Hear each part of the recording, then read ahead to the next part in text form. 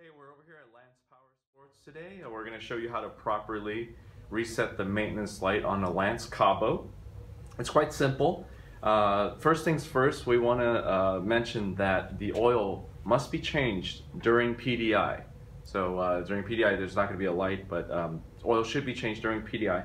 Once you get up to 620 miles or 1,000 kilometers, um, the maintenance light should come on uh, for you to perform uh, oil service on the bike. Uh, once you've performed the service, we're going to go ahead and show you now how to properly reset.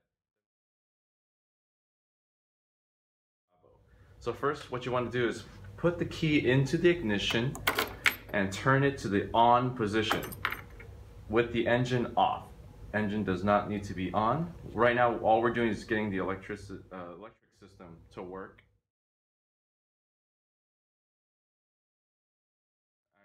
Is to use the bottom button listed as M. We're gonna cycle it so that it shows odometer. Okay, so we're gonna uh, toggle it so it shows the odometer.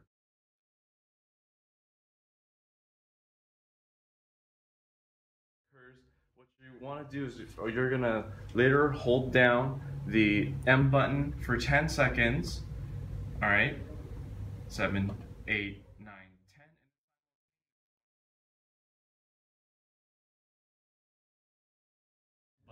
You're gonna hold down the top button, the S button, for 10 seconds more.